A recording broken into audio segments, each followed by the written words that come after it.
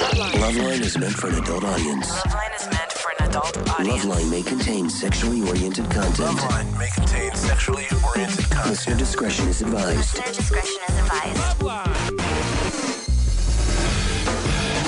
1 800 Love 191. Loveline starts now. Hey everybody, it's Loveline. Phone number is 1 800 LOVE 191. I'm Dr. Drew, and I'm pleased to welcome in the studio tonight Jason Mewes. You know him as Jay from Jay and Silent Bob. Hello. Jay, what's going on? Do you actually go by Jay or should we say Jason? Either one's good. Either one's good. So, what are you up to these days? Uh, not much. Playing a lot of video games. I heard you were on Degrassi. My kids' friends were very impressed by that. Yeah, yeah. We just uh, the DVD just came out. Um, me and Kevin were on three. Well, he was on three episodes and I was on two, and we just went back and did uh, two more episodes. So Let, let me sort of set this up for everybody. Kevin Smith, Silent Yeah. Bob, directs Yes. and produces a lot of these films. correct. Chasing Amy. That's the last time he was on Loveline. He was up with his girlfriend, Joey. Joey Lauren. Yes, that must have been years and years ago. That was years ago. He's been yeah, he's married now. Seven? Is it seven years? Wow. We haven't seen him in a long time. He's still he's still doing lots of stuff, right? Yeah, yeah, yeah. We well, he just was. Uh, you know, we just got done. He's editing right now. Clerks two. And that's coming So- out in the summer. Uh, they're looking for August, I, I believe. Again, so both Jason and Kevin were in Clerks, which is classic, right? Everyone has seen that hopefully. And then Clerks 2 coming out in the summer. Yep, yep. Is that you happy with that one? Yeah, yeah. It was fun. Do you live out here now? I do. I live right in Hollywood. And you originally grew up in New Jersey? Yep. How'd you end up out here? Um, Kevin moved out here. A lot of my friends moved out here. Milonakis. Did you know Oh, you knew Andy from out there? I know Andy for Oh, no. nine years now. I'm from uh, New York. Andy Milonakis. Were you did you know him when he was still a, uh computer hacker? I did. Were- I what were did. you doing That's then? how we. That's how we met because. Um, well, he was. He's the. We have a View Askew board. We have our own website, like, Right. and uh, he used to go on there, and we did a signing in New York, and we used to chat on the board, and he made. He was You Dirty Kevin. talk. No, it's uh, dirty Andrea. talk. Dirty, dirty, dirty. It's dirty talk. Hey. That's Andy.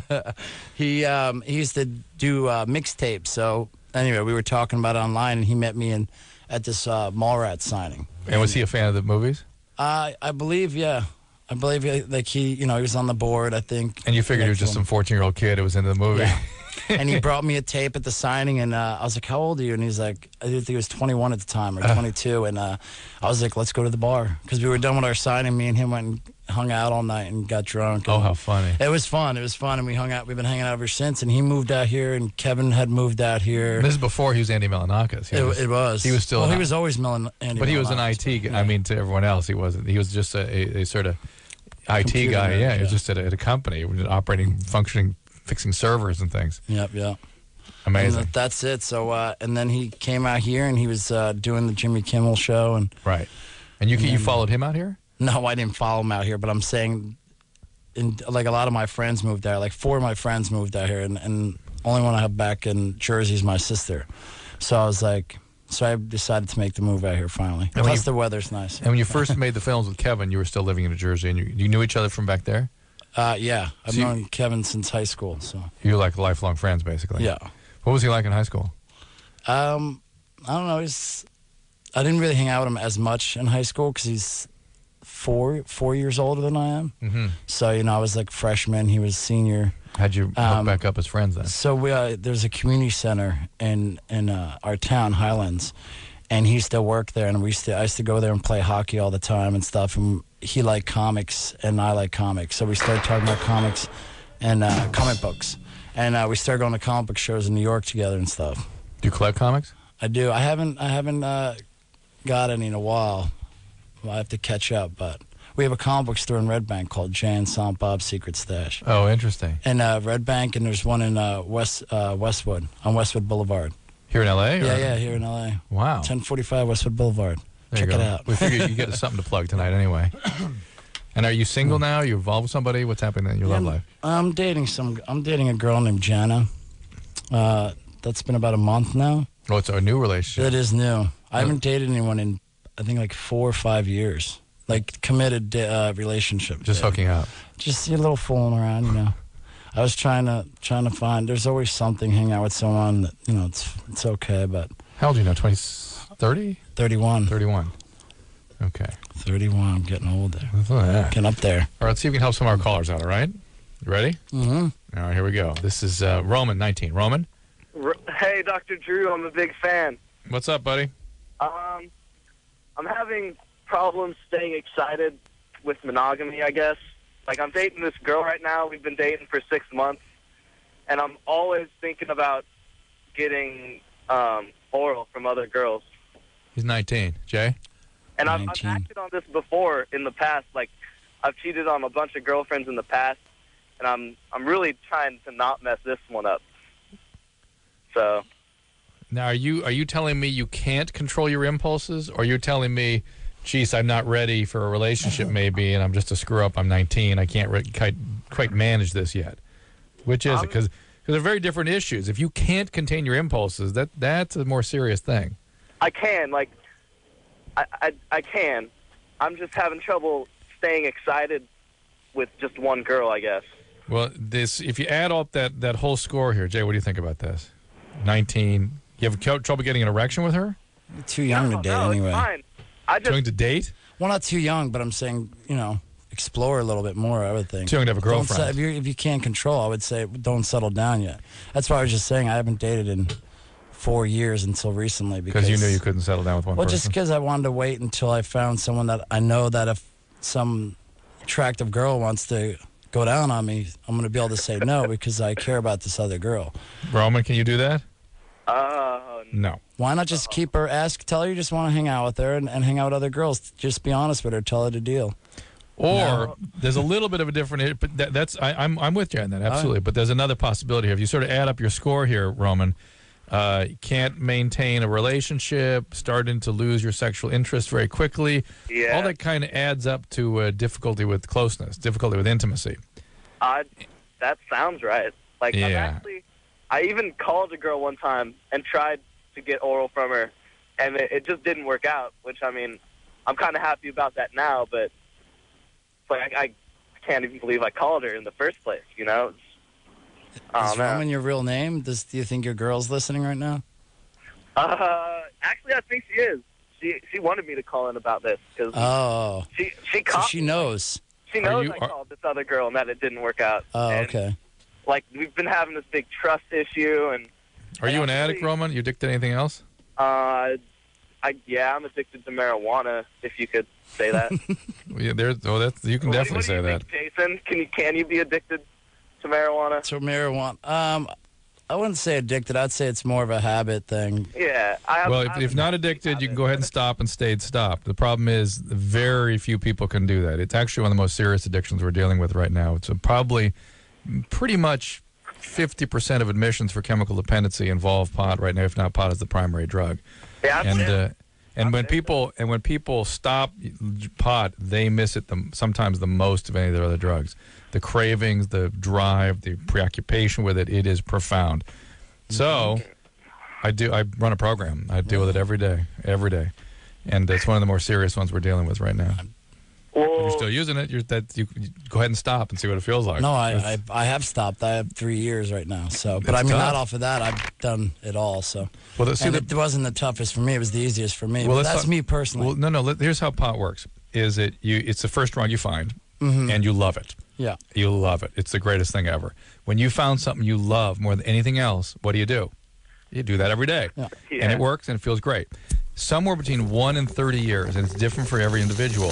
That that I love it feeling starts to wear off, and you start getting depressed and irritable. You experience it as this doesn't work anymore. I need to smoke more. You start smoking more, and suddenly you're not feeling good. You can't do things. You're irritable, and that's when you switch over to something else. And those other things can become more difficult to stop because the Yeah, pot okay, you leave behind. But if you, if I catch you just as you switch to amphetamine, let's say, the one you'll miss, not the amphetamine, you'll miss the pot because that's a much better feeling than speed. Even though speed corrects the depression of the marijuana. Really? And so, but if it's if you go on to opiates and you get strung out on opiates for three years, that's the one because it because it affects the same part of the brain as the pot. Yeah, yeah. It's anterior cingulate, and so so the Vicodin, the OxyContin, the heroin, whatever, that becomes a much more powerful drive at that point. But most Well- people graduate to speed, and they don't miss the speed; they miss the pot. Mm-hmm. That's sort of how that goes. So, Roman, you're in the beginning of all these issues. Was your dad an alcoholic or something, or your mom? Um, no, no, neither of them. My my grandpa had an addiction to cigarettes. No, that doesn't count. Well, maybe maybe you're not marijuana addicted. Maybe you're just compulsed, and maybe you're just you're going to put this all down, and it's going to be part of your sort of uh, adolescent enthusiasm and exuberance. But I, I'm really concerned about how you're containing your, your how you're managing relationships. It suggests trouble in the future. And if your girlfriend's listening, uh, Roman's girlfriend, be prepared to jump ship. He can either tolerate closeness or he can't, and whether he's ready for it or because he's got a long term problem, either case, it's not good for you. Emily, 17. We get high. Hi, Dr. Drew. Emily. Oh my God, I'm like so in love with you, and like I can't believe I'm in love it. And I'm working on a group project right now. and People don't believe me. Wait, hold on a second. Did you hear that? I don't quite know what was said, but I had to turn speakerphone off. Okay, so I'm really hoping you can answer this question because no one will tell me why. okay, So, slow down, slow Okay, down. You, okay. you ever seen the film The Clerks? Um, mm, yeah, I have. She's lying. Jay, how about yeah. Jay, Jay and Silent Bob? No, no, I totally have. It's like those two guys who work, and one's at the video store, and one's at the drugstore. Yeah. That's she's right. Well, this is Jay. And uh, you see him on Degrassi? Um, Hey. no. Okay. All right, what's your question, Emily? She's like, Okay, I don't care. So it's all about question you. is, like, What? Okay, so yesterday I came into my friend's room, and he just got out of the shower, and he had one red foot, and like it was like, like when it's really steamy and your skin kind of turns red. Yeah. And I was like, Kenya, why do you have a red foot?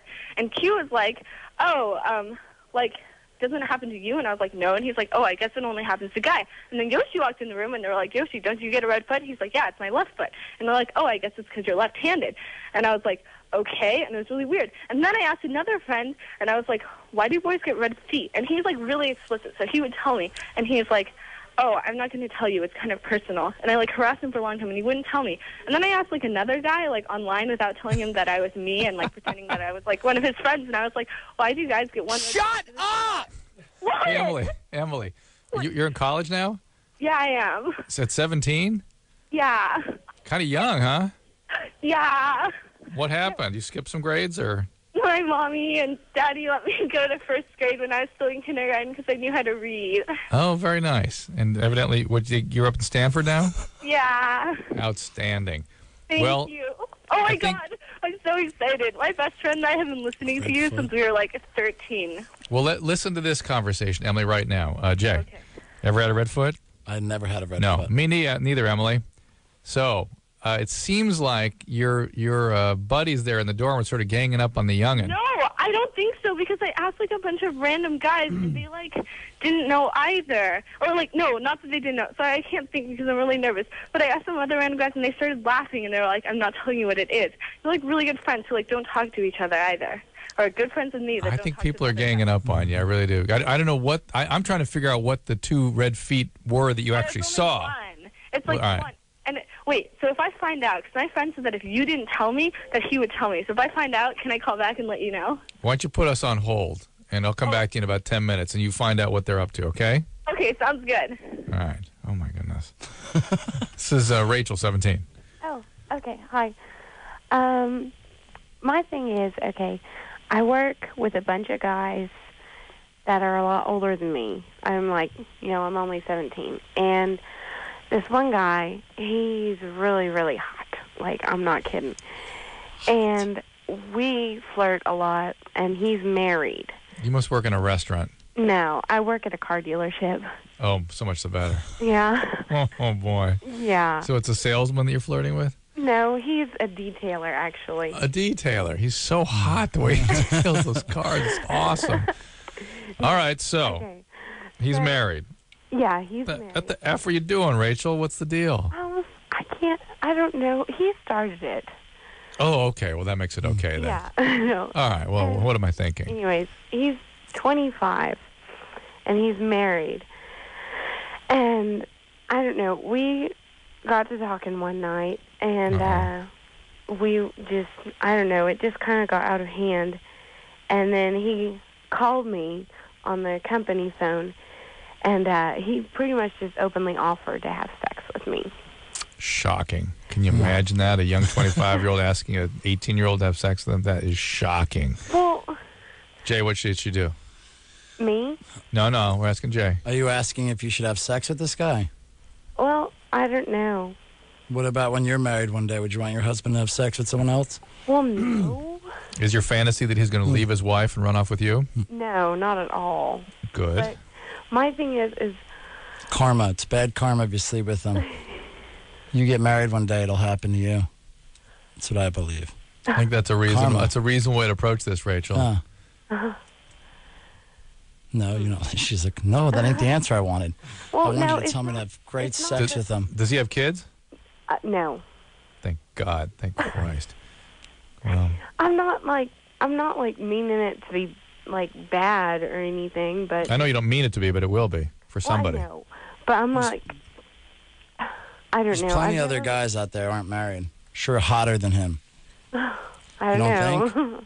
He's Well, pretty then why why go with someone that's married?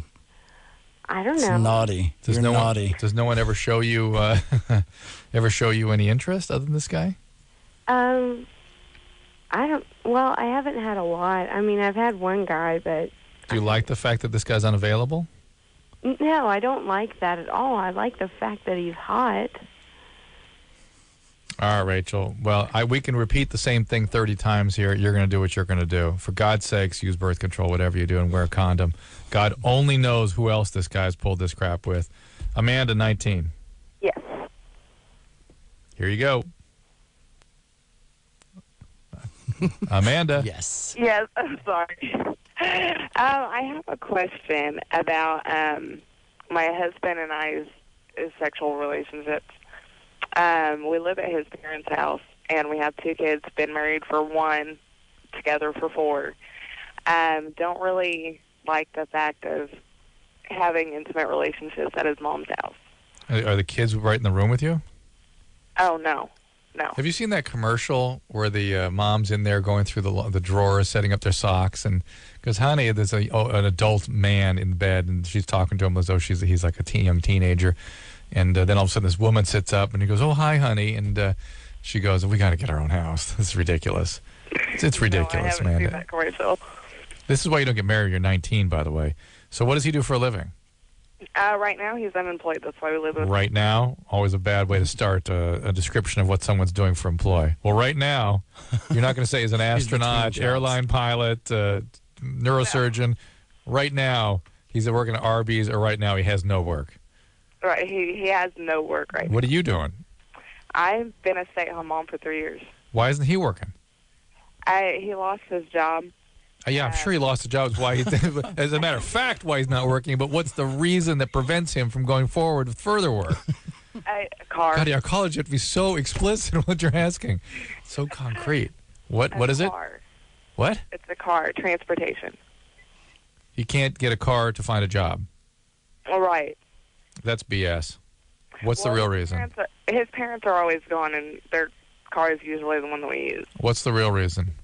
Uh, that is the real reason. I was No, curious. no way, no way. There's bus, buses, Yeah, he'd- cabs. He'd, find a way. He's got to support a family. What's the real reason? He just sit around smoking pot? Is he just lazy generally? Is he drinking all the time? What's he doing? Oh no, that's not it at all. What's the problem? He's always he's always on the internet looking for jobs and posting his resume and everything, but Right. it's just and nobody ever calls him back. Is something about him we should know? Is he present strangely? Is he? Oh no, he's a very good guy. That doesn't make sense, Amanda. So, so that then he will find work, and uh, if that's the case, he will find work. There's, it's an active, you know, economy right now. People get jobs. He'll find work. He'll carpool with his buddies. He'll go to work, and uh, you guys get an apartment, move out. That, that's got to be the goal.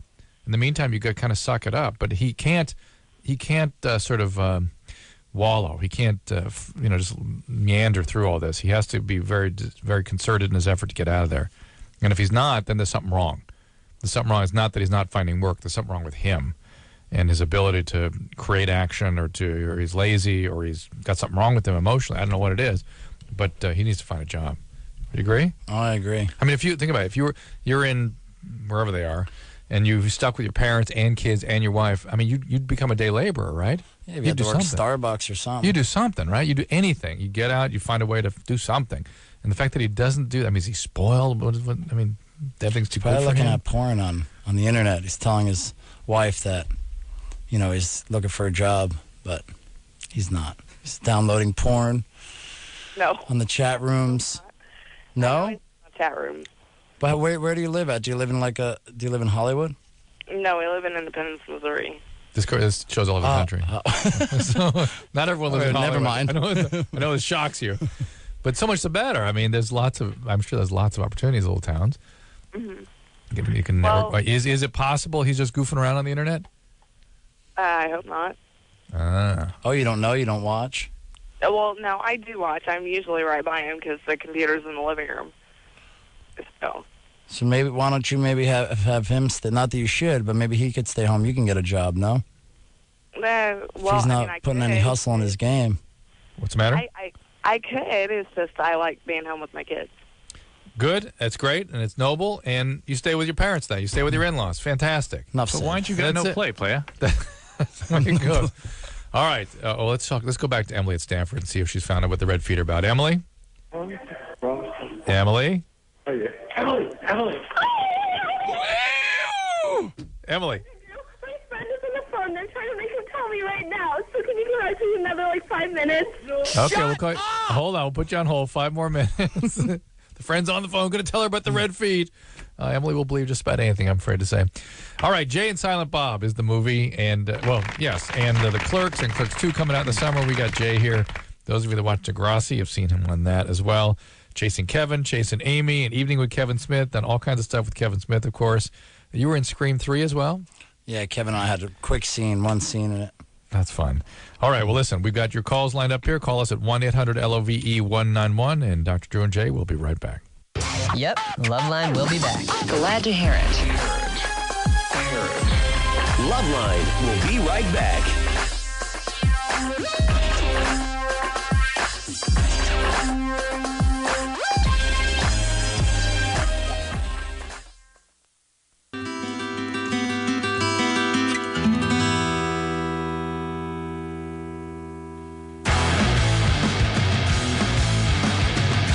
That's right. 1 800 LOVE 191 Loveline. He is Jay from Jay and Silent Bob and Clerks. And we have a question for him right now. This is Anthony. And then we're going to solve the mystery of the red foot. Anthony, 15. Yeah. What's up, hey, buddy? Dr. Drew. Hey, Jason. Big fan. Thank you. Jason, do you have any upcoming movies coming up besides Clerks 2? Like any plans? He's got a list of. Uh, you want to li- read that list? When I won't read them all, but there's uh there's some uh, I did some independent. So I mean I'm not sure what's gonna happen, but I did like a, a movie called Bottoms Up, um, and Jack's Law. I, don't- I don't. I've done a few, but we'll we'll see what happens. Do I have anything that I'm planning on shooting after? Not right now. We just got done about a week and a half, two weeks ago with Clerks 2, and now I'm just sitting around playing video games and nothing exciting. Yeah, good times. Yeah, It is for good sure. time, You sound high, dude. Uh, no, I'm not. I know. All right, else, anything else, Anthony? No, just saying. I love Jim James, Silent Bob Strike Back. Thank you very much. All right, buddy. Good times. Good times. Here's Andy, 21, going to help us solve the red foot problem. We had a call Emily from Stanford, who's who saw somebody coming out of a shower with a red foot, and all the boys ganged up on her and said, "Oh yeah, that's something guys get, and we can't tell you what it is." So, Andy, what do you think it is? Um, I just I don't know. I've had a few friends who uh, uh had the same thing, and uh, they just say it's athlete's foot. You know, like when they're in the shower, they just scratch it and their feet get red. Oh, and then especially if you live in the uh, in dorms, you know, those bathrooms are nasty, and we're sure that stuff spreads around. Now this is wonderful. There, there's a number of different funguses you can get on your feet, and they can turn the foot red. And there are also some vascular problems that people can get, as well as swelling in the foot. But let's see what uh, Emily. It's not something that guys get. Yeah. I'm saying, Emily, what'd you find out? Emily, Emily, Emily. Uh, hi, Dr. Drew. Hi, Emily. What'd you find out? Okay, I'm really embarrassed because it was so anticlimactic, and now I feel stupid. And I feel like you only let me on the air because I go to Stanford, but I'm not really that dumb. And my friend and I, my best friend and I, oh my god, wait, hold on a sec. I do. Okay, okay, like we were gonna call and like prove that we weren't stupid Loveline listeners. And Adam was on, and he used to always like yell about how stupid his listeners are. But okay, so the reason why they have red feet, and I like talked to three of them to confirm this, and this is ridiculous because friend was so embarrassed he chased people out of the room. It's because like okay, depending on what handedness they are, their penis curves in that direction, and then they pee on that foot, and then when they pee on that foot, they spend a lot of time cleaning off their foot, which is why it's red because they've been cleaning their foot.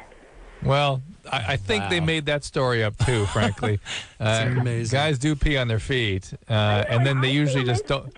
Just most of the guys when they walk in the shower pee on their feet and then just go right on about their shower. They don't do any Yeah. special cleaning, which which I'm sure will make you even happier to hear that. I usually lay on my back and pee all over myself, and I never turn red. And he never scrubs after And. I never, never scrub, never. It's just, it, because it's sterile. Oh, okay. So Oh. I tell them they shouldn't bother scrubbing their feet anymore, and it doesn't matter in the first place.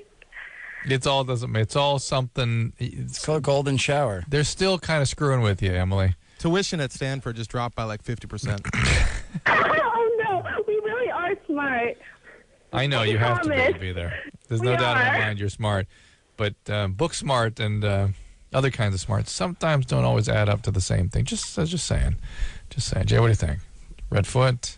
Uh, yes. Actually, Emily, to really sort it out, to, honest to God, I'd have to kind of examine it, and and that sounds weird, but I'd have to examine the red foot to know what we're talking about here. And people don't really know how to describe or look at dermatologic issues. So here we go. Let's see. Where should How we about I go? pee on my foot right now and you check it out? But then you have to scrub it afterwards, I though. will. See, Well, I so will. D, what's up? Okay, first and foremost, Jay, um, my friends and I are huge cult fans of yours, and you're the sexiest thing ever. Mm, nice. thank you. So- Why should it be cult? It's mainstream. Yeah. Well, I know, but we every Thursday we get together and love on you and watch your movies. So, Every Thursday. That's nice. Well done. Nice. but the problem is that I um, kind of messed with one of my friends. Uh, Male or female? But my it I messed with a male friend, but um, it was her. as a guy she was dating. Uh So um, that's what oh. I. That, that's a that's a sacred rule you've broken, right? Yes, it is, and I've been like sick with guilt and wanting to Mm-mm. die and everything, and now we're dating, and Dating who- dating the same guy? I'm dating the guy, and I don't know how to tell my friend. Oh, D. Yeah, and it's been a problem now because I haven't been able to get together with my Thursday Silent Bob night. Because Wow. she's she's one of the friends in that group. yes, she is. So Jay, you were intimately involved in this mess. I, w- yeah. Give her some advice. I, I it's have like you're none. speaking to her right through the television, the, the video screen they're watching. I, I have no advice for that. Well, let's No. think about it. She screwed. She sort of um, messed up, and then kept going. So wait, she is the She's is he dating. dating. the other girl too, or no? No, I'm dating the girl's boyfriend, or Yeah, but well, are they still dating? no. you stopped talking to her. So they stopped talking for other reasons, and behind her back, you're dating him now. Or they were Dating, they were dating, and then I started to um, sleep with him, and You, then you stole. You stole her boyfriend. yeah, Does she have any idea this happened? No, Is she trying to talk to you about uh, her broken heart because this guy suddenly left her? yes, Oh, that's got to be weird. yes, and I've been with her when she's tried to call him. Oh, dude. First question is why would you uh, why would you date a guy that did that to your friend? Don't you think he'll do this to you? I'm you? a twisted bitch. Yeah, that, uh, well, that's been a. Don't you have a couple other cute friends? I'm sure. I bet he's gonna pass you all along. He's gonna yeah, he'll go. piece of every one he'll of yous. move along. Let, let, Day- do you need to know? Remember these words. What Jay is alluding to here is that you want to know how your relationship's going to end with this guy. Just look at how his last one ended. That's, That's exactly how yours is going to end. Side issue that I've been having with him too, like my trust issues. But he's he's been good, and Yeah, well, for the time being, he will be, and then he's going to move on and How do do something like this good? to you. Yeah. By the way, she thinks he's good too. Yeah, yeah. So when when were you messing around with him? Where was she? Would he tell her he was? He would tell her that she's uh, he's going out with the boys and stuff. No, he wouldn't talk to her because he's very like, He just wouldn't answer the phone. he, yeah, he's very secretive and stuff. Secretive, cowardly, I'd call it. Yeah. Yeah. It's amazing. That's like the worst, I think. Yeah, D. Uh, He's a good guy. Mm, Oh yeah, great guy. This this is again how little women know about men. This is a bad guy. He's, he, he's it's like saying except for the fact that he abuses little boys or that he's a murderer. Great guy, you'd love him. You'd love hanging out with him. Now, D, here's the deal. You have to you've lost this friend. You have to realize it and you have to give her at least the respect of telling her what you've done so she knows that she needs to move along and let her get angry with you and let her reject you and whatever she has to do because that's the you you, you deserve that that's the price of what you've done hmm You've you've really been a poor friend, and you don't deserve to be her friend right now, and that's reality. And you've got to let you've got to give her at least the dignity of being able to break it off with him and move on, so she's not wondering what the hell happened and what's the matter with her. All right. Thank you very much, sir. Of course, you're not going to do that. You can No, I- to hide out. You are going to do that? Really? I, I, all balls up somewhere. Yeah, you don't want him to do it either. You need to do Oh, it. Oh yeah, This is, this is mano a mano, girl to girl stuff. Okay. Yeah, next Thursday or this Thursday. Mm, oh, over over your films. nice. You know what? And she's not going to believe she- that guy on the screen there. You know what he told me? he told me I should tell you this. Yeah, we're going to call the hospital. Uh, Jeff, 18. Yeah, um, I had two things. One's a lot more important than the other one. Um, first off, I'm really worried about the kid I babysit up the street. Uh, I kind of think his dad might be molesting him. Why? Well, like I always thought he acted like a little like feminine, kind of. But I mean, like he always wants to do stuff like wrestle, which is I like. I mean, I understand that. I was a kid. Well, I still am a kid. Either way, like I, when he when I put him to sleep, like he's like afraid of the dark and stuff. But then when I went on his dad's computer, I found like gay porn, and I I don't know. I just So far, you haven't told me anything that leads me to believe that this well, man is I know, doing. I know, I know. It's more of like an intuition kind of thing, which is Well, yeah. do you want to make a report to the Department of Child Protective Services? You can do that. Tell- In fact, that's really what you ought to do: is call them, make an anonymous report, tell them what you observed, and they'll give you some advice on how to how to sort of uh, proceed. Probably, you're not going to do anything. You know, there's really not much you can do. It's, you don't have no you have, don't have any evidence. Maybe no, they can notify the pediatrician that takes care of this kid. Keep an eye open for something might be going on. But you, as an 18 year old, are not going to be able to do too much. And by the way, all these things that you're sort of judging these guys on. I mean, it's normal for a kid to be afraid of the dark. It's normal for a kid to want to wrestle, whether or not he has, you know, uh, sexual orientation issues or gender identity issues. That has nothing necessarily to do with uh, abuse issues. Sin 22. Hi. Um, Hey, what's going on? actually, my question was if it's harmful for like our health, like girls, to have like hardcore sex when we're like in our period. Jay. Is it like harmful or? Am I into doing it or? Excuse me. Sure. It But I don't, is? I don't, I don't see why it'd be harmful. What makes but you- I'd want to know. You. What makes you think it'd be harmful, Sam? Like because sometimes like it kind of like hurts, like in there. Yeah, the, the hurting is more the general inflammation that occurs in and around your period, and uh, there can sometimes be ovarian cyst that's still healing too. So they, they, they obviously you want to avoid things that hurt just because that's your body telling you you should, but it's not as though there's some specific medical problem you're going to get into, except that if you get have sex with a guy without a condom who has like a sexually transmitted disease like chlamydia or gonorrhea, Uh-huh. it can develop into PID, and other bacteria too can, can predispose to that. So you can get tubal infections in and around your period. So there's some added risk, but it's not because of the hardcore quality of the sex. Okay, so is it better to wear condom when you're actually? Yeah, all things being equal, it is. It's better to wear a condom anyway, all the time. Okay, sure. But it's not. Again, it's not the the activity that's the problem. It's the introduction of bacteria. Okay. Okay. Okay. Thank Cool. you, Dr. Drew. All right, my dear. Bye bye. How am I? Pete, twenty. Hi, uh, uh, I wanted to know if there's. I heard vitamin E will straighten your penis out. Jay, got any curve? Yeah. do you, do you Not dress really. to one side or the other? Uh, like straight up. What? Probably at like a 45 degree angle there. I mean, a curve, like a, a banana curve. Yeah. That's kind of normal. Normal. Forty-five degrees. That would be a little bit extreme, though. I guess. Does he huh? pee on his foot? What's Yeah. Do you get a red foot? No red foot. No, no red feet. Uh, I, that sounds normal, Pete. I, I really the, the vitamin E thing is for something called Peyronie's disease, where a plaque forms on one side or the other, or on the bottom. Typically, it kind of pulls it over to that side. Can you feel anything in the in the top surface? Any kind of scar or plaque? Uh, I feel like there's like a, almost like a tendon shorter or something. No, I don't, that all seems like normal. But uh, 800 units of vitamin E for a couple months couldn't hurt anything. You can see if it works. These sort of more what are called acquired versions of Peyronie do sometimes respond to that. Okay, here you go, Jay. Another one for you. This is Sharon, 16. Uh, hi, Dr. Drew. I was the one that called with the James dude from Ghost Whisperer and whatever. Okay. Remember me? And I was basically wondering why is it whenever I'm in class sometimes, why is it I have these odd, immediate bursts of sexual urges, and I don't even feel like I'm horny or whatever you want to say. We're having trouble following you, Sharon.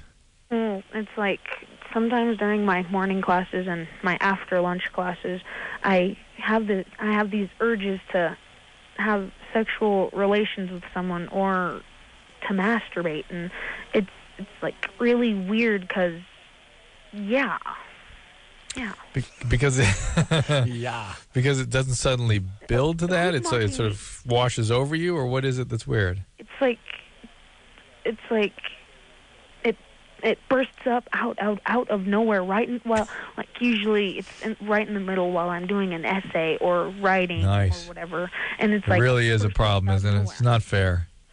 What was God thinking? And I got a question. Yeah, Who was that that mocked me? I don't know. Copied me when they when I said yeah. Oh, it's Jay. Jay from. Oh Jay. yeah, that was me. Oh, Jay and Silent Bob. Clerks. Clerks two. Cool. And a, and a Paris Hilton film too, right? Yeah, yeah. What was that like? It's it's good. Is she was that before she was uh, as, as present as she is now, all, all over everything? Um, present. What do you mean? I mean, she's just everywhere now. She's like Oh, yeah. this huge sort of. yeah, it was. symbol. Uh, we did that How long ago was that? maybe about ten months ago, I think. I Oh, so know. that she was still, you know, it was she an interesting person? Yeah, it wasn't too long. No, yes, I've known her for a few years now, but How do you guys know each other? through Kim, Kim Stewart. That's how I know Jack too. Is huh? I don't know. Huh? Jack Osbourne. Yeah, we were know. talking about, remember earlier we were talking. We're talking about, Jack. the, the Jack was supposed to be on the show tonight, and he Yes. tell us the story real quick. about him calling up. Yeah, I- yeah. He, he called me up saying that uh, he. I, I don't, still don't understand. He just was like, I He have forgot. to leave town, or I forgot, and I was like, all right. So he said that he didn't want to just leave. You know, Leave us hanging. He leave gave us somebody hanging, good. so- That's good. Jack always comes through. He's a responsible guy. He did. He called and called. And then my phone died, and he was like, then he started texting me on my sidekick. He's like, Where'd you go, dude? What's going on? You're trying to get away. Mm-hmm. All right, Jason Mewes is here from Jay and Silent Bob Clerks. Phone number is 1 800 LOVE 191. Give us a call. We'll be right back.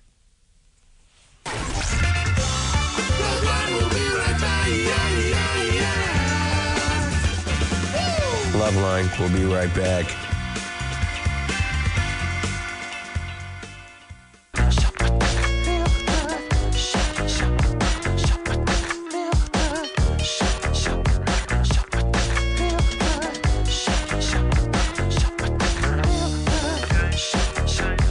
Loveline, 1 800 LOVE 191. I'm Dr. Drew. He is Jason Mewes. You know him from Clerks.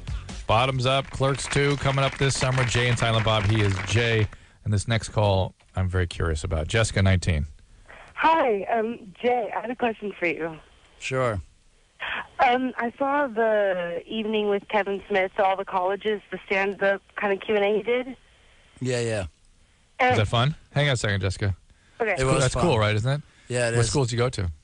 all over. Yeah. There's been a bunch. We just did one. though. we did one in uh, in um, London, and we did one in Toronto. Wow. It's gonna be evening with Kevin Smith too. That's like the second one. It's called "Throw the Podium Down" or whatever. Nice. But uh, that's another four-hour Q and A. And they weren't colleges. They just were Q and A's that they throw together. Yeah, because they do, he does that a lot too. And Oh, I that's cool. just- he really About does them. I just or go about- with them. about everything. They ask questions about movies, and he tells. He's really he's really good at. He could go for like five six hours. Wow. He just goes on. People ask questions, and he just runs with stories and and stuff. And Neat. It's good. So, what was your question? Was there a question? Yeah, no. So he said there's a bunch of stories about you, but there was one in particular that I had a question about. There was one where he said that you came in after school and then you kicked in the door and you just started performing fellatio on everything. Yes, that was at the community center. I was saying earlier where I met Kevin. Uh, well, we well not where we met, where we started hanging out at this community center Yeah, when you were in when I was young. in high school or whatever. Yes, I was still. I was like fifteen. And what happened? no, and they just. I'm just was um, still a little obnoxious, but I was way obnoxious then, and I used to just run around and entertain myself and pretend to suck things off and all. You know, just different stuff. I used to pull my genital. You know, You say balls? Yeah, absolutely. I just pull, just pull my balls out and stuff. So, You, um, you you do you hang out with Steve-O ever? He's still doing I it. I, haven't. mean, you- he's still pulling his balls. Out. Oh out. yeah. Oh man. I try not to too much. I'm not sure he uh, actually performed oral on the football team, but but No, no, it wasn't on other. It wasn't on people. It was a video game. That's Kevin's story. Is, is like I don't really remember it. I remember stuff like that, and uh, I'd run in, and there was a what was the asteroids machine. Remember, he used to have the yep, the there's one here ball? at, at K-Rock. Yeah. Yeah, and and there, you know, it's there's nothing to really. But I, I was see, doing that. I see. And it was going to like the flagpole. And Anything that's, that stood out and stood up. Yes. Ah, nice. Kind of like. And that's how he said. That's when he said because before that he, you know, he was like a little kid and he was obnoxious. But then he said after that he was like, this kid's funny and he's don't really care that anyone's watching. That's the story he tells. I don't really remember that. And you did something like that the in. Clerks too. Like you got down on your knees and you were imitating Oh, some circus slut- seals. slut- yeah, circus seals, exactly. Yeah, a lot of the yeah yeah. That's how that's in Clerks is sort of how I used to act. pretty In real much to a life. Like it's just- fantastic. it really is. Just very very obnoxious and smoked a lot of weed and. Well, here's another question, Megan, 21. This is for Jay. Hey, Jay, um, I wanted to know. I'm a huge fan of Jay and Silent Bob. You guys are so awesome. I wanted to know um, are you actually sober through the whole movie, or do you actually uh, smoke any of what you're, in you know, what the movie's about? And Jay and Bob. The Are- first are, you one. asking Yeah, in Jay and Silent Which- Bob. yeah, I the think- I last think- one? I think what you're asking in the first one, were you actually smoking pot? Right? Is that the question? Yeah, That's the question. Oh yes, in in Clerks, I, I was smoking. Yeah, Yeah. What about? Because we did it- about- not wasn't a just, not just studio. not just that you were high, but when you were allegedly smoking pot, you actually yeah, smoked yeah, yeah, pot. Yeah. yeah. Because it you know it wasn't a studio film, so You could do whatever you want. yeah. So there was a lot of drinking going on and smoking in, in that one. The other ones, no. Right on. Thank you. You're welcome. Bye. Bye. All right. I want to see what this next call is. This Cara on five. Is she for uh, Jay? Let's see. Cara, Yeah, sorry. Um, what's up? I was wondering if you thought that people could really make a decision with bisexuality. Do you think that it's possible to, to make a choice and move forward? Or do you think people can't? Before you talking to Jay or me? You. But what do you mean a choice? Well, what's going on with you? So You have a problem? A question? Yeah, I mean, I uh, have relationships with both men and women, and it just makes me uncomfortable.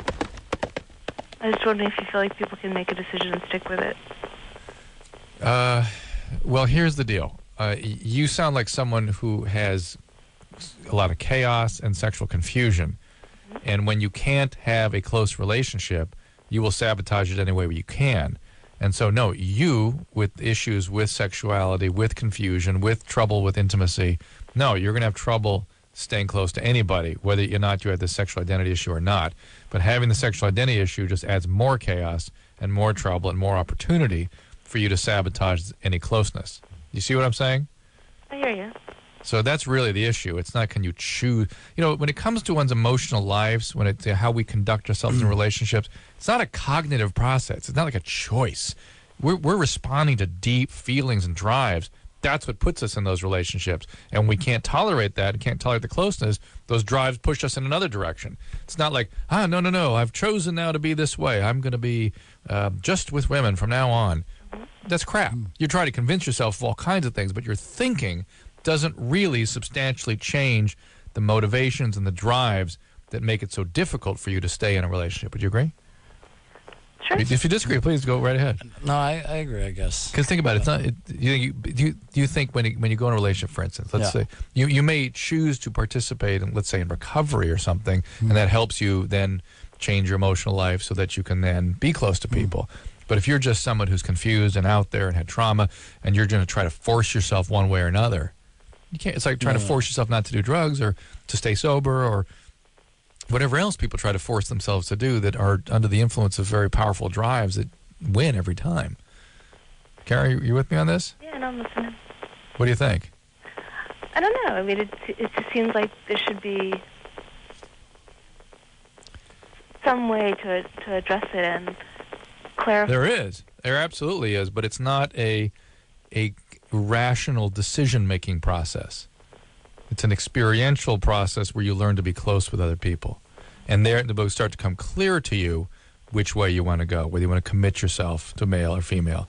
But when you're confused and all over the place, you can't commit to anything because the drives keep pulling you around. Sure. Right? Yeah, I guess. I don't know. Should I guess? I guess like, I guess so. Elizabeth, 17. Yes. You're on with Jay.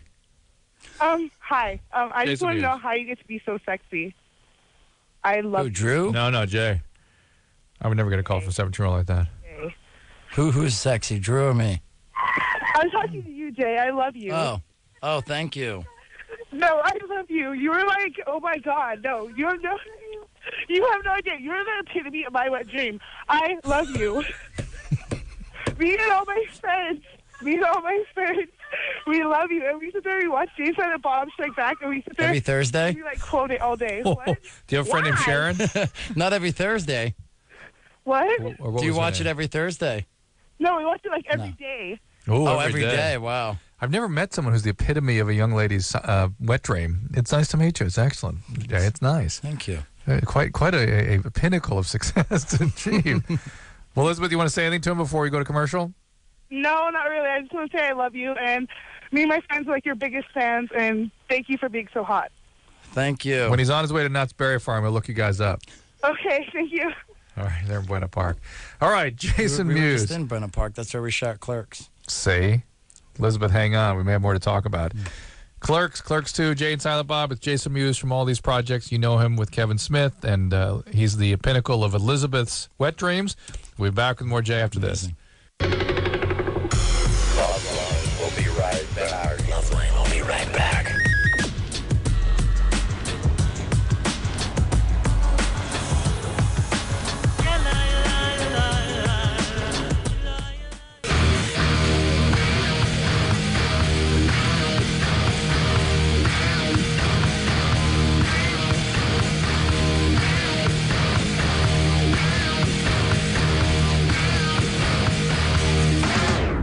That's right. It's Loveline. Yeah, well, 800 LOVE 191. Jason Mewes in here tonight. Clerk, Clerk 2, Jay and Silent Bob. He is Jay. You know him from all those projects with Kevin Smith. Lots of calls for him tonight. Let's start first with uh, Josh, who is 18. Josh. Oh, hey, I didn't expect to get through. And there you I are. Was, um, I was actually curious about uh, the Chasing Dogma, the comic the, that Smith did. We have a copy of it at my local comic shop, and I'm contemplating buying it just because I have Kevin Smith everything, and I'm wondering if I mailed it to the secret eh, to the secret stash, if I could get your John Hancock on it. Sure. Yeah, and I'm also curious that in the Clerks X DVD, you cut your hair, and I'm wondering if you grew it back for Clerks 2, or I did. It, it's growing. It's it's not as long as it was um, in Jay and Bob, but it's it's getting there. That's but yeah, I, it's down to my shoulders. So yeah, I had to start letting it grow. And Kevin said we were going to start shooting. So, So is that about where it's going to be in the movie, or did you go with weave? no, no, it's my it's my real hair. I won't. I refuse to put um, Weave. extensions Extension. or weaves, as you say. Here's Kat, is 24. Kat, Hey, hey, what's up there? I am just curious to know. I can get off from sex, no problem, but I have I've never gotten off from oral sex, and I'm just wondering, is that something that some girls can never get off from, or is it something that I'm doing wrong? No, this is this is sort of the typical syndrome. Is here's sort of the primer on You have, female. like the magic advice. No, here's the primer on female orgasm. Uh, about 60% of women can only have orgasm with oral sex. Okay. They will not have orgasm with intercourse. They're genetically set up that way. There's another 40% that will have sex in intercourse. Excuse me, will have will have orgasm with intercourse. About half of them, most of the time, and sometimes with oral sex. About 10% of those, about 10% overall, 20% of the 50% group, uh, will have multiple orgasms with intercourse and will not and will find oral sex uncomfortable. So the so basically, the more orgasmic you are with intercourse, the more difficult it is to tolerate oral sex. Does that sound like you? Yeah. What? Why? I didn't hear that word. Really? She sort of went. Yeah, I, I don't I, know. sorry, Drew, I couldn't talk to you because I had to cut the uh, filthy whore's mouth. but yeah, she said F.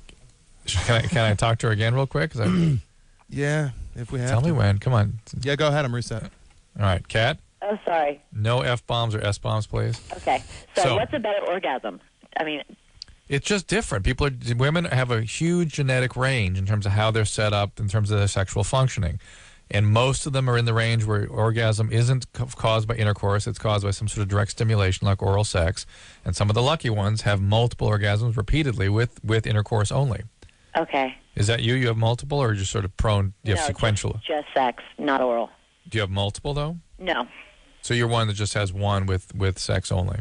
Yeah, I mean, you know, like 30 minutes later, I can have another one, right? Right, right, right, right. Okay, so the, again, the more orgasmic with sex, the less orgasmic with oral, and vice versa. Got it? So That's no, normal.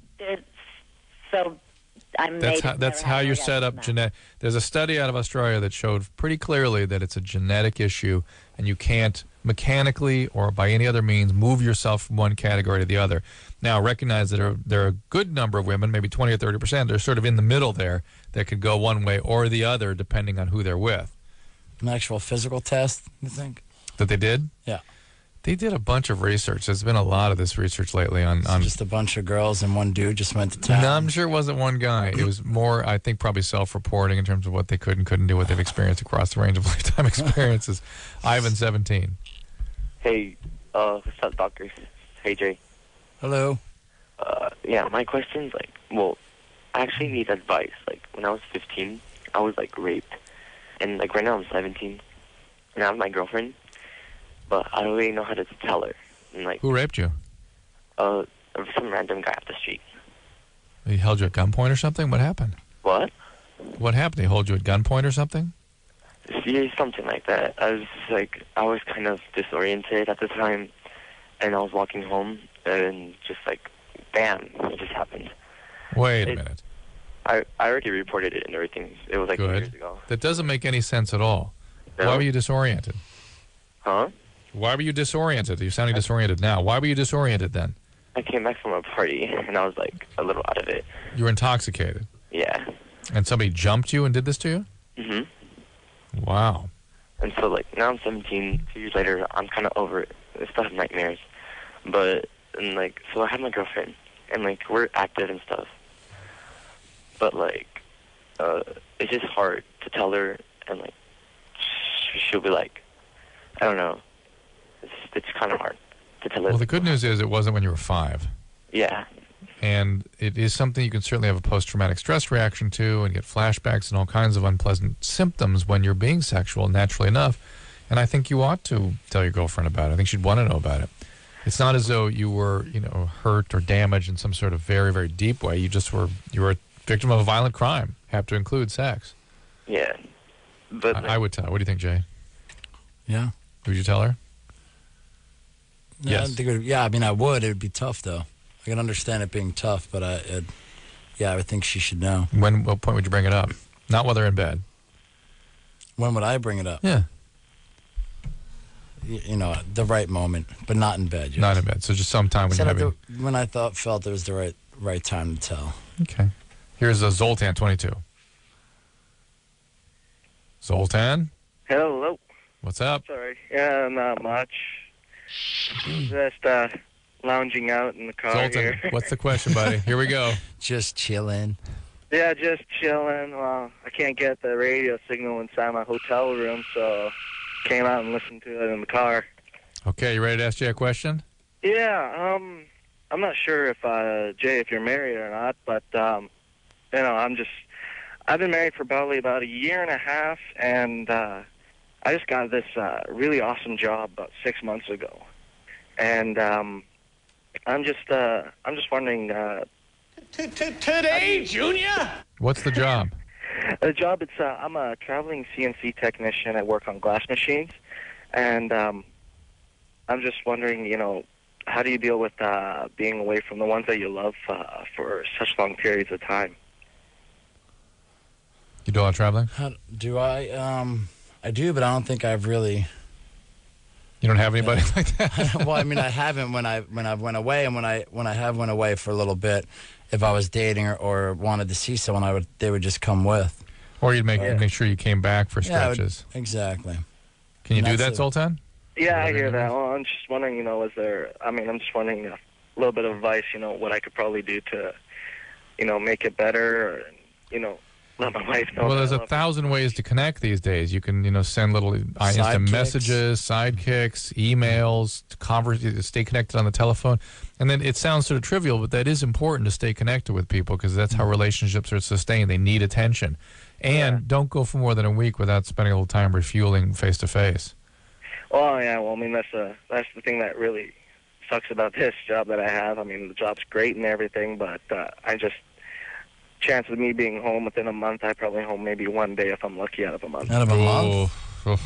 What are you traveling place to place, or are you just one place Oh, yeah. for a month? I'm I'm traveling like all over the United States, all over Canada. Sometimes I go. You got to bring your wife with you for part of this, whatever it costs. You need. You're going to lose this relationship if you don't pay some attention to it. Okay. You have good. You making enough money to have her come out? Well, yeah, but I mean sometimes I'm not in one. Sometimes I'm in one place for two days, and then I'm just saying, you got to make Yeah. that effort. You got to do it. Even if it's for two days, I would fly her Bring out. her out. Let's pay for another connecting flight. Just keep her with you. Christina, 23. Hello. What's up? Hello. Hello. You're on with Jay, Jay and Silent Bob, Jason Mewes. Oh my lord. well, um, Clerks. my question is: uh, every time me and my boyfriend are having sex, and so towards the end, it's like he's got this big thing of pr- pretty much turning me over and wanting to give me anal, but I'm just like too scared, and I I don't know if this is something you guys just love doing or or what. Oh, Jay, it's for you. I, I'm not. th- I mean, I'm not into that. Does I'm not into anal at, at all, really. Is he, I, I cannot understand that whole thing. It's Yeah. just that is just a bizarre impulse people have. Are, you, are is he just into that position, or is he actually pushing, trying to persuade you to have anal sex? He's trying to persuade me to, but I'm just too scared. Well, Every Ugh. time you're saying. You're saying every time towards the end he wants to put in a duty hole. Yeah. Um, I, that just don't se- seem right to me. Ever see American Me? Is it? Is it American Me? But I have. I have. you have seen that? Do you remember when dude there. gets out of jail and he goes home to his wife? And what happens? just- yeah, he Like, turns he her just- over. he turns her over and he just is so used to being. He was in prison for whatever amount of years, and wow, you know. So I don't know. Crazy. Maybe something like that. I don't know. Mm. Hope not, though. How long you been with this guy? For three years. Yee. And he, and each time he's done this to you? You know what? Towards the second year and now going on the third, it's it's it's been going about that way, and I don't know. I just like, oh Wait, no, I- you know, let's do something else. But does he does he sort of like that position? Is my question. uh, you know what? We've we've gotten down to that position, but it he's putting it elsewhere. It's, right, and that's what he likes. Yeah, That- he likes it, but he just wants to try anal, and I'm Turn your radio off. Yeah, turn your radio off. Here's the deal, Christina. Uh huh. Why do you put up with this? You don't want to do this. You don't have to. You're in control. Cut it out, or you're cutting the whole thing off. It's very simple. Or make a deal with him. Tell him if you, you know, he brings you to Hustler store, you get a strap on and let him do it to him. If he lets you do it to him, then you'll let him do it to you. Well, you know what? I've mentioned that to him, and he's very, no, no, we can't do that, and I don't know. Exactly.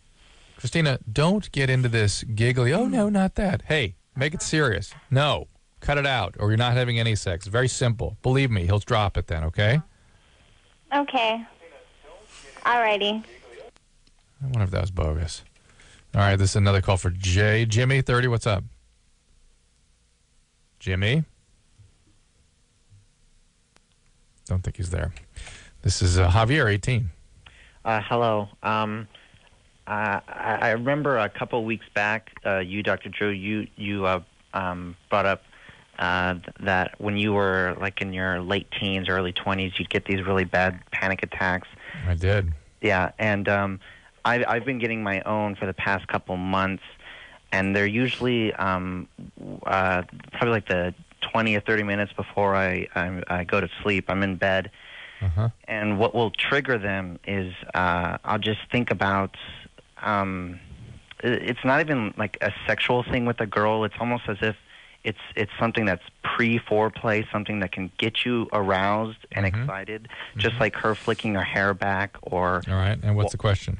Um, and and, and th- this is what triggers the, the panic attack, and it's about right. like 20, 30 seconds. I, Mhm. I just I don't even know if it's if if it is a panic attack, but I just get into this state where I don't know, like my it seems like there's like a thousand birds in my head or something like that. I just get so flustered, And this have you been with a girl? Huh?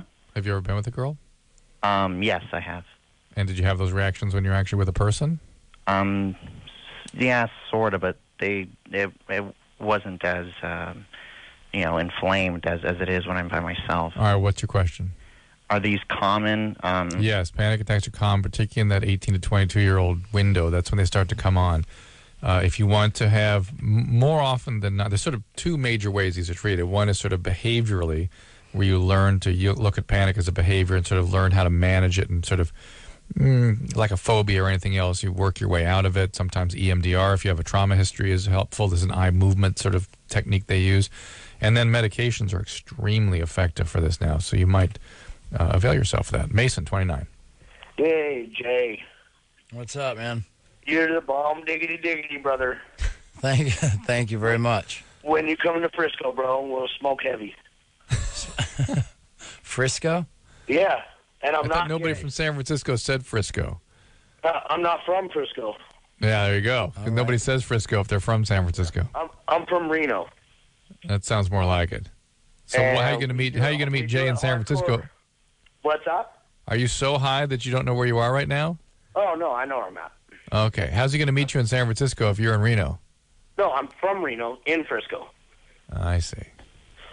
But and at the same token, Doctor Drew, Yep. I like what you do. I appreciate that, Mason. Um, you know, you you and Adam started something off quite a while ago, and uh, I, I paid attention a little bit, but that was that was in my heavy weed smoking days when you guys started, and just recently I've been hearing you guys do you guys do good, man. Well, thank you, Jason. Appreciate the call. This is uh, Sharina, 21. Hello? Hi, Sharina. What's up? Hey, okay, I have a problem. Okay, I'm with a man and I, I love him to pieces, but when I get off myself, I picture women. And I've By, tried by women yourself or with him? by myself. I can't get off with him because I'm too busy picturing women. Okay. And I'm trying to see if this is healthy. I mean, I've been with women before when I was younger. Ooh. Yeah. but, you know, I realize that I'm not physically attracted to them. It's just like a visual attraction, like a visual bisexuality type thing. Do you see what I mean? I, like I like looking at women, but I don't like touching them because if I want to touch something they have, I'll just touch myself. So that was not a good experience when you'd been with women. No, it it wasn't. Something was missing, obviously, in that. What was that like? What happened? oh God, with the women? Yeah. Oh, just ugh, just messy. Oh. And I, I prefer penetration, and and it's like when I get off myself, I picture women all the time. I cannot picture. H- how old was this girl that you experimented with? Um, I was 15 and they were 39, 13? 28. What? You were 13? I was 15 and they were 15. 39 and, and 28. So they were criminals. This was sexual abuse. I was working at an adult store All right, this- illegally when All I right, so this, these are criminals. You, you were you were abused as a kid, and when you get when you get sort of um, worked over by an adult during your sort of developmental stages, that can skew your orientation quite a bit. It Mhm. can it can create a, a coupled association between the high arousal you experience, even though you didn't like it, and just sexuality in general. So this this is really kind of a bad situation for you. What you doing in an adult book, bookstore at 15? Oh God. Well, they offered. Well, they pay a lot of money, and it was it was everybody there was underage. But Where were your parents? Shut the store down. Where were your parents? My mom didn't know that I worked there until later on. Where was your dad? uh, not in the picture. And what's up with your mom that she didn't know where you were? Well, when she found, I lied to her and told her I was working at a restaurant. And then when I told her a few months ago, like my boss was like this crazy dude. He can get into people's minds. Like he was like this pornographic Mr. Rogers, and he worked at this bookstore in Oceanside. And he pretty much convinced her that it was good for me to work there.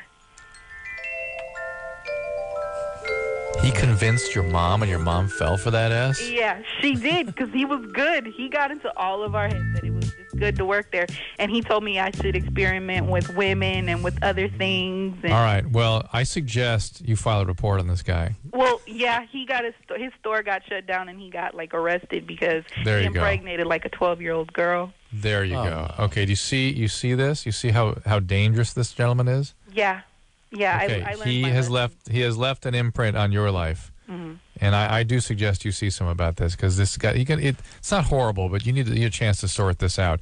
Now, on one hand, women do find other women very sexually arousing. It's sort of our image in our culture of what sexuality is as women. That's what, you know, a lot of women like to think about other women. But this, Trina, seems a little more than average, a little more than that. You're sort of stuck with that right now. And I'm sure you'd like to feel more sexual about your male partner, which is your preference. And that would take a little bit of mental health work. Jimmy, 30, you're back. Yeah. What's up? Hey, Jason. Hey. I had a quick question for you. Being the com- comedic genius that you are, I was wondering if uh, if you had any influences on you, you know, from the comedic standpoint. No. No influences? It's no, just, not really. It's just all pure Jason mania, huh? You don't believe me? You're like, what? I mean, didn't you see any movies growing up? You I've thought seen that's tons funny. of I mean, movies. this is I mean, no, funny. I've or seen- Buddy Hackett growing up, or something. No, I've seen tons of movies. Um, but I, I mean, I don't know. nobody stood out. No. Okay, it's true. So it's Jimmy, true. just he's pure, pure. Uh, uh, just it was more more of not like the first one we did was just Kevin Being writing. yourself. Yeah, so. So it's just But, I mean, believe me, I, lo- I love a lot of you know. I mean, Jim Carrey, I love a lot. I think's awesome, and you know, there's tons of Chris Farley. You Well, fan. yeah, but I'm not saying like I was like, oh, I want to be just like that. But Right. I want to be like Bill Murray. It's not. That's what you're asking. But I mean, I find all this people really funny. That's awesome. I just want to say, Affleck, you the bomb in Phantom, Joe. Oh yeah. oh yeah. all right, Jimmy. Thanks, for your call. Thanks, guys. Thanks. All right, this now is uh, Jillian, 28. Jillian, Hi. hey, what's up? Um, And it's funny, the last one before was about pornography because mine. yes, it was. I thought that was kind of interesting. What's the deal? Well, mine is. I just have been noticing lately, and maybe I'm just behind here, but it seems like pornography has changed a lot um, with the verbiage they're using, like on the internet in the past couple years. And I've also noticed just culturally, men are just. I don't know. It just seems in general that women are kind of being viewed as well, I don't know, just really stupider than I think we've ever been viewed in in any era. Jillian, I have a great book for you. It's called Female Chauvinist Pigs. What? It's called. Fe- It's a book called. It's written by a woman, and she is addressing this very issue: is why is it that women have sort of gone on with this, gone along with it? And I think some of her theory is off base because she doesn't really have any clinical training or anything, but some of it is rather fascinating and, and well done. And she particularly she associates women's behavior. This is going to sound awful, but No. this is what she does, and it and it correlates rather well the behavior of people in captivity and slave situations compared to that behavior um, versus how women are behaving in their current situation. When you are in a powerless situation, how do you respond? You go along with the images and necessities of the people in power, when in fact women have relinquished their power and could assert it again and take control of things where they don't have to be portrayed in the way they are or participate in this in any way. Well, I, I think what it's confusing for me is I, I, being a woman, I understand from both sides of the coin. I mean, I think the women that are out there doing, I don't think the pornography is bad. I mean, don't get me wrong. You know, if we're all grown-ups, it's fine to look at naked people and see images that are sexually stimulating. What I'm talking about is specifically the verbiage that's changed. Um, you know, we all get pop-ups. We're on AOL or whatever, and you know, if you're in any kind of site that's even got anything to do with adult anything, I mean, just all kinds of things pop up, and and they may be unrelated. Like I've had things pop up that just freaked me out, like bestiality and stuff. I'm like, why in the hell is that popping up? But what I'm thinking of is more that the verbiage on all of it is it, it's not just sexy images now. It's like it always has to be this stupid, you know, B asterisk uh, TCH. I know we can't say bad words on here. Do you know what I mean? Like every image is accompanied by the fact that it says, you know how we got these girls to do this? Uh, we paid these hoes great amounts of money or like it says oh you know I, we told them we had You're fat. in the movie industry and and like you know these stupid broads did this and that and then it shows the images and the girls are you know getting these facials and all this stuff Hey, Jillian, this is what men are thinking.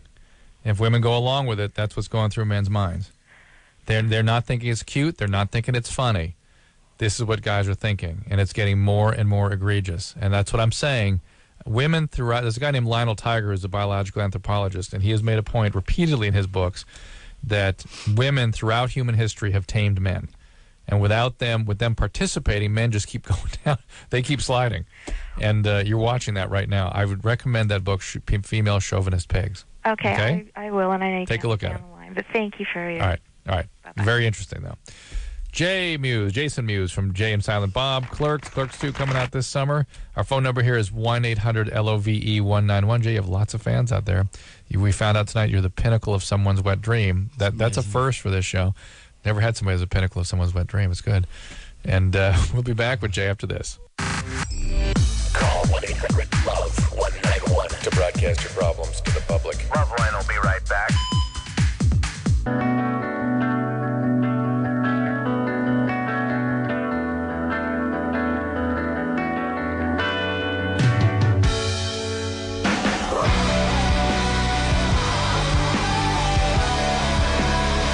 Right, Loveline. Jason Mewes in here tonight. Phone number is 1 800 LOVE 191. I'm Dr. Drew. You know him from many of the Kevin Smith projects.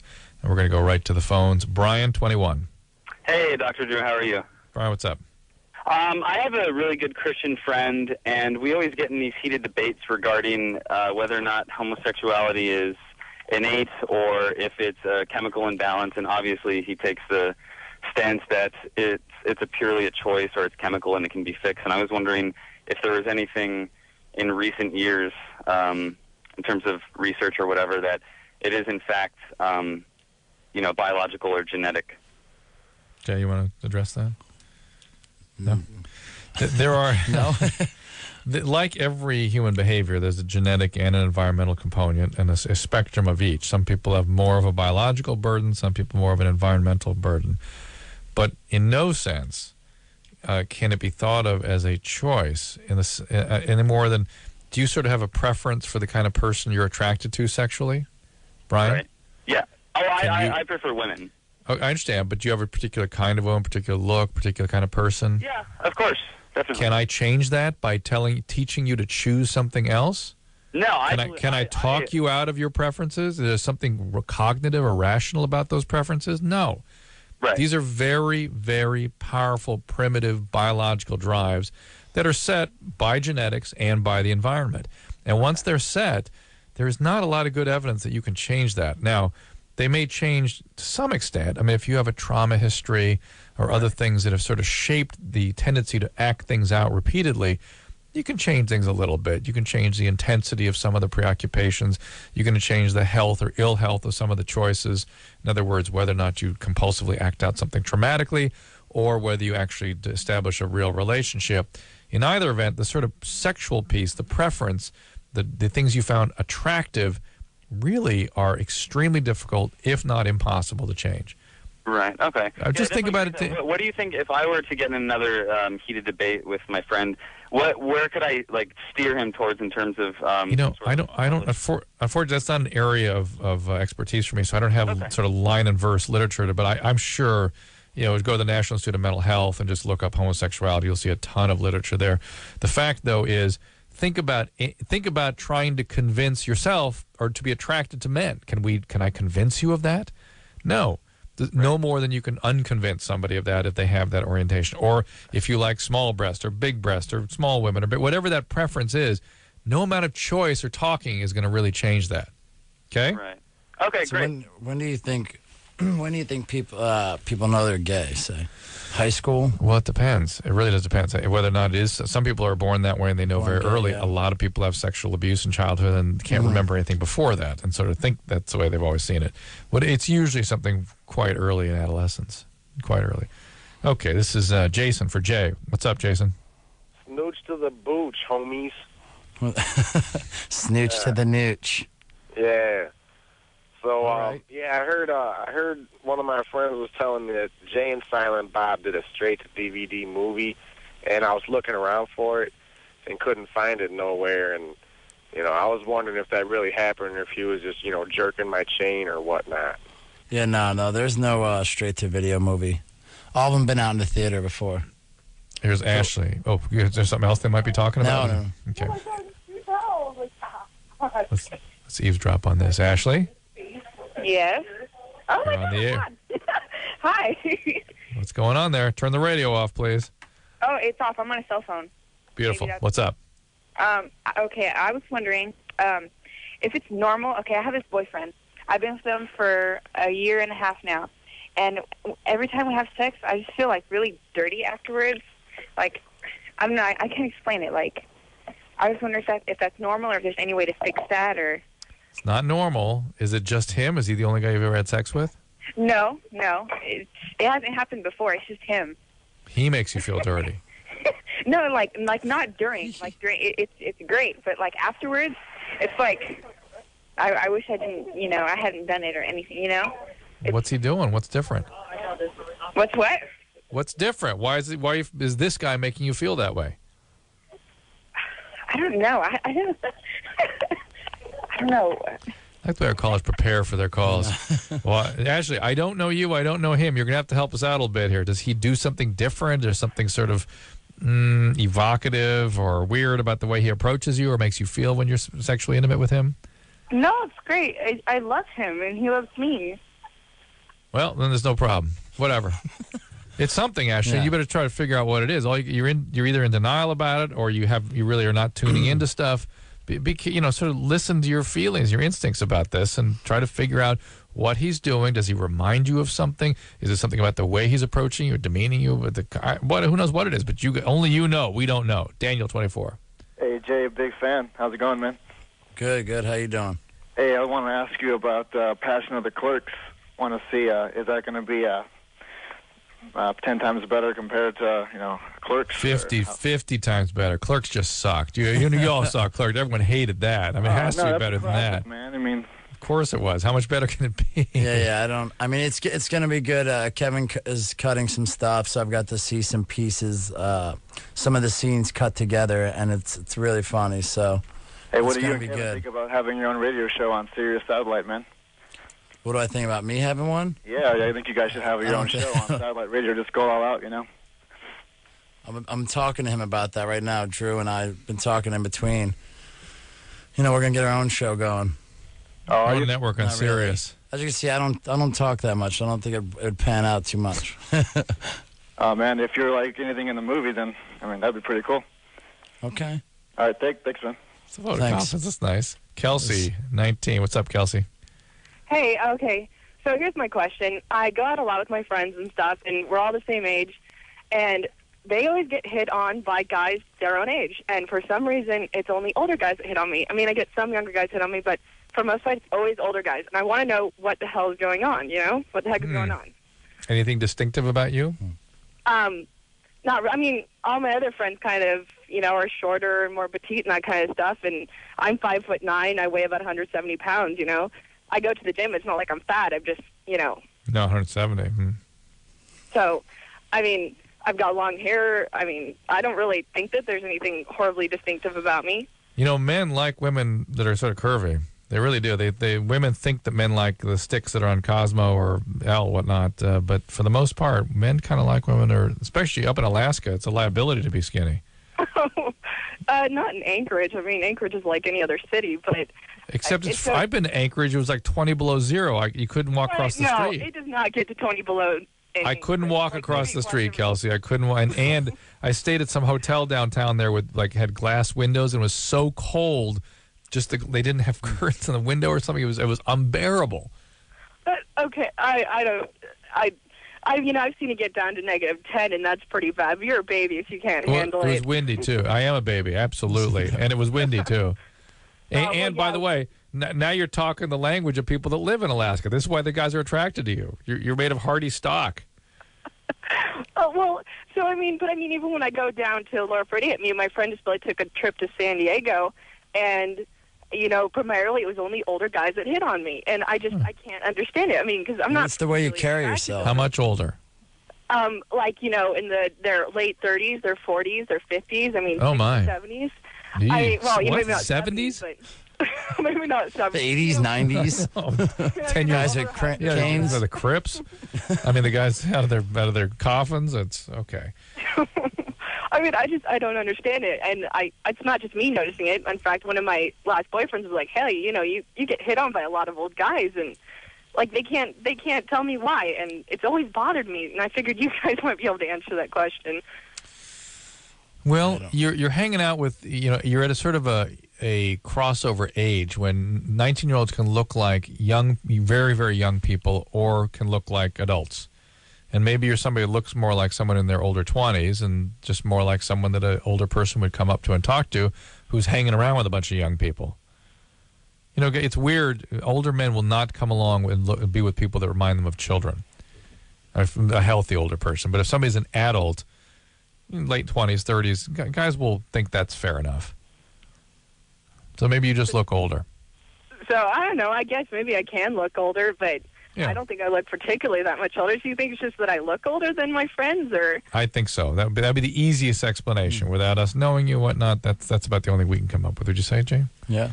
Okay, Haley, what's up there? Hi, this um, comment is for Jason Mewes. I'm like a big fan, and I saw you at Comic Con about two or three years ago. I think you were promoting um, Jay and Silent Bob Strike Back. Okay. And I was just wondering, are, are you planning to co- go back to Comic Con, or? Oh yeah, we your- we.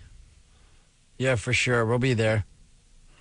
This is Tracy, 18. Tracy, Hi. what's up there?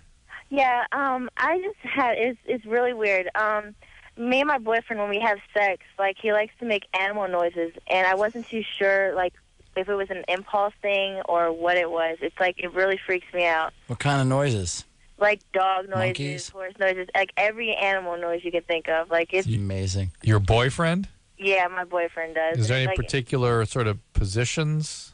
like any position it doesn't it's like usually uh, like from the back and he like wants me to like touch his like outer layer of his butt and it's like i don't know he makes jokes with his friends all the time like um i'm having a rim party do you want to come and i'm not too sure if he's gay or what it is Give us an example. I, I'm trying to get uh, my head around these animal noises. Like, like what?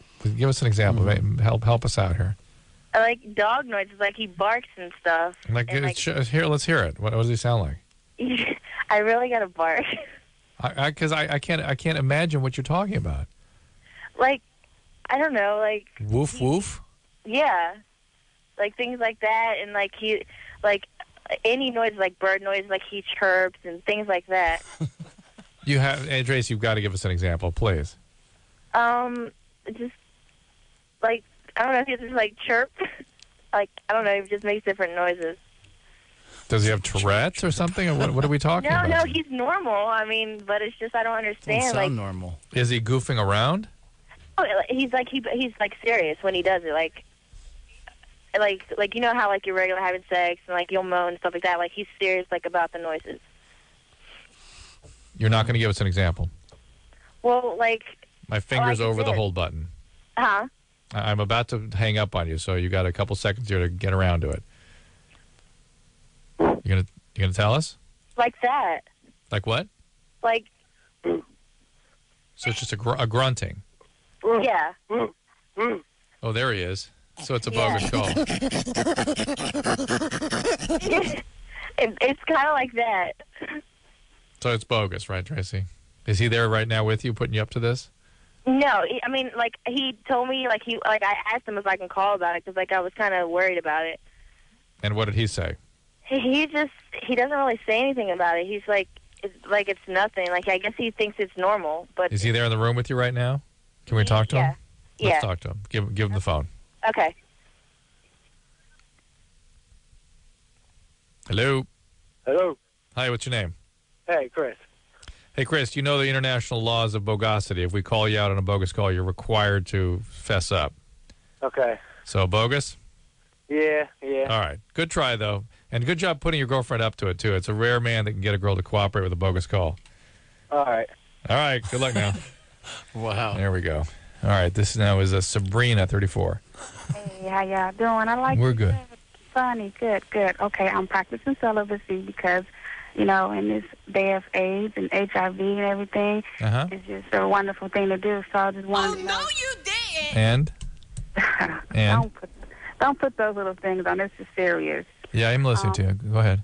The benefits of it, also to encourage other people that it's okay, and also how did you get started, Dr. Drew? Because I'm in, I like sex. It's not like I'm against it or anything, but obviously those are my reasons. And how did you get started?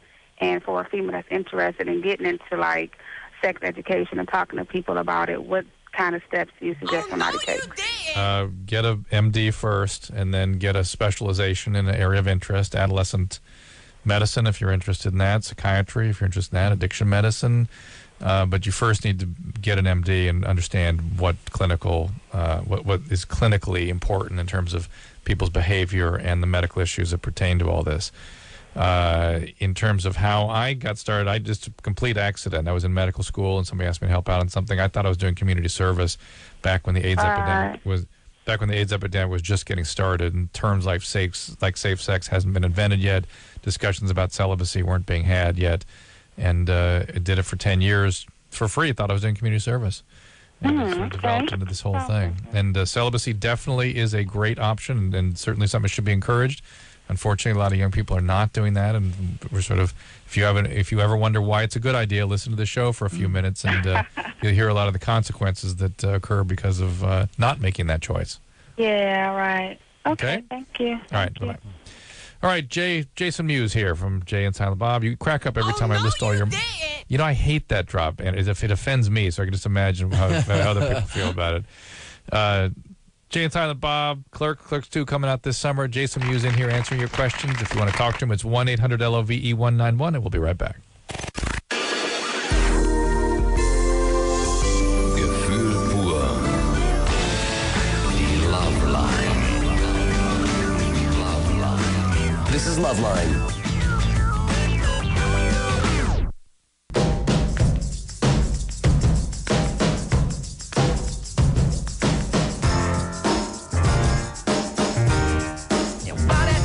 That's. It's Loveline 1 800 LOVE 191. We have just a few minutes to take calls, so let's get right back to it here.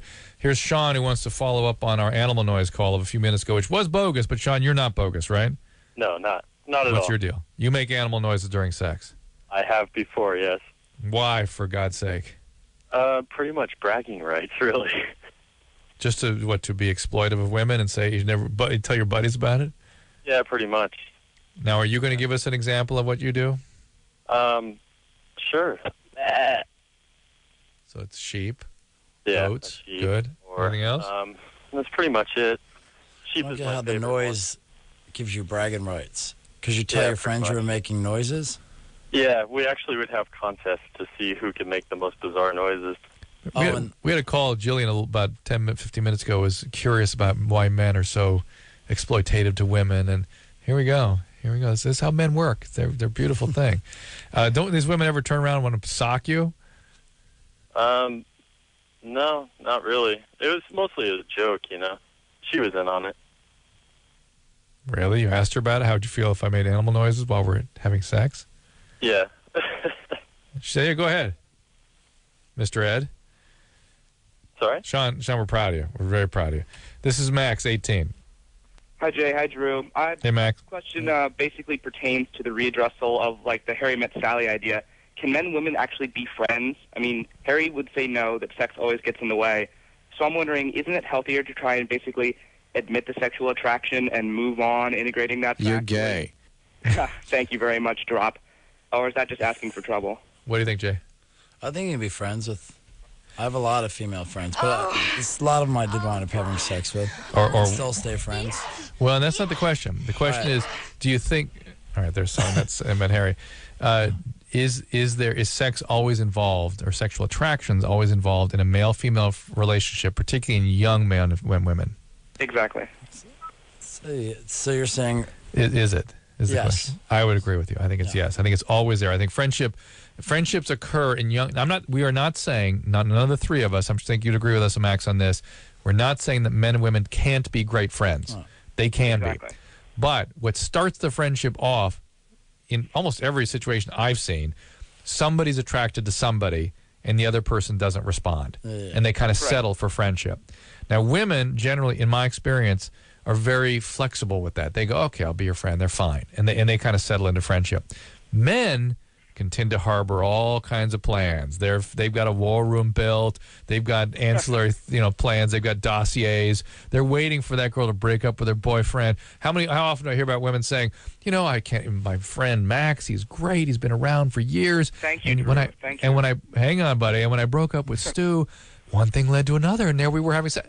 Okay, wait, Max. Max been planning that for three years. I mean, come on. It's and true. so, so your good friend that you end up having sex with, believe me, he's been. He's, they, and and by the way, it's one of the differences between men and women. Men, uh, women, if a man has just broken up with a woman, oh no, uh, uh she doesn't want him. I don't want him. No, forget it. But a man, it really behaves like sort of a lion in the bush, you know, watching watching a herd of antelope go by, and the one on the end with the broken leg, that's the one they're going for, and that's that's the way they work when the woman breaks up with the boyfriend. Would you agree, Max? I would definitely agree. And just as like a final uh, closing question, I mean, is it is it a good idea to basically admit that attraction in a friendship and to move on, or I mean, 'cause that would kind of eliminate the whole predatory thing. I, I don't. I think um, it might be, feel it's okay to bring it up, and it, but you keep bringing it up, it's going to feel a little intrusive, and I think women are going to push back and feel kind of grossed out about the friendship at a certain point. You you need to contain all that and go ahead and be a friend. Not Roger keep because because your motivation to keep bringing it up is maybe we'll become friends with benefits, maybe we'll incorporate it into this relationship. Come on. She wants to be your friend. She doesn't want to have sex with you. Otherwise, she'd be your boyfriend. She'd be your girlfriend, and she'd be having sex with you. That's that. This now is uh, Christy, 26. Hello. Hey, what's happening? You're on with Jay. Hey, Jason um, Mewes. I have a, is this Dr. Drew? Yes, ma'am. Okay, I was calling because um, I've noticed that it's not all the time, but every now and then, and I haven't really kept track of exactly what's going on at the time, but sometimes when I have sex, I have like um, pain in my kind of across from my hip bone. And like last night, it was on my left side across from my hip bone, and every time he'd go in, it was like he was hitting something or like he is hitting something. He, hit- he hits your cervix and flips your uterus up and down. That kind of is painful. And if you have ovarian cyst or endometriosis or any tubal or uterine infections, it can be quite painful. So, Okay, 'cause I went to the hospital not too long ago for right-sided pain, and they thought it was my appendix, and it turned Mm-hmm. out they couldn't find anything wrong, and so I'm wondering why I'm having so much pain in that area. why are you going to the hospital? Why don't you see a gynecologist to have a proper workup? Well, I, I, I thought, well, that's kind of what I'm trying to figure out. Do I need Yes. to go see somebody, or is this yes, just, you need to see a gyne. Yes, you need to see a gynecologist. Okay. Could be a And cyst, so- could could be endometriosis, could be uterine infection, could be tubal infection, could be a lot of different things. Could be nothing. Could be a retroflex uterus or a flipped uterus. Okay. Okay. All right. I thought maybe it was an ovary thing. Is, do I It have time could- for one more question? It could be an ovarian cyst. That's correct. What's your other question? Um, is it okay? My husband and I are very touchy feely, lovey dovey, and we have two kids, four and six. Is it okay to be like that in front of them, or is that going to make them? No, I mean- it, it's good to be. It's great to be physically intimate with somebody in front of your kids. That's that's you're the model for their relationships in the future and for their sense of intimacy. To be overtly sexual though is a little weird for them. So maintain proper boundaries. Jason Mewes is in here with me. It's Loveline, and we'll be right back. If you need help, Call Loveline 1 800 Love 191. Hey everybody, that about does does it for Loveline tonight. Uh, Jason Mewes, thank you for coming in here. Thank you. Keep an eye out for Clerks 2 this summer. Wide release. Yeah, yeah. That should be cool. And uh, listen, tomorrow night we've got uh, Mike Shinoda from Linkin Park and Fort Minor. Is that a new band he's got going? We'll hear about that tomorrow night when he shows up. So until that time, this is Dr. Drew on behalf of Jason Mewes saying good night and stay well. I have these urges to have sexual relations with someone or to masturbate, and it's it's like really weird because, yeah, yeah. Be- because yeah. And I got a question. Yeah. Who was that that mocked me? This has been Loveline. Loveline. The opinions expressed on this show are not necessarily those of the staff, management, sponsors, or this station. The, producer for Loveline is Annie Gold. Loveline is a presentation of Westwood One Entertainment.